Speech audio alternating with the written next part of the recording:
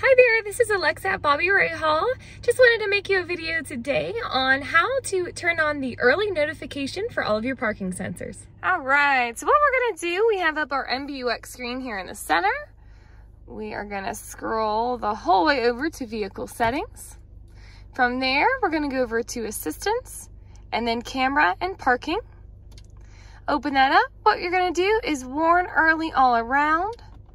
Click that and then that will notify you earlier to when you're getting close to something with your vehicle. All right, I hope that quick video was helpful for you to turn on the early warning notification for your parking sensors. If you have any other questions, please feel free to let me know.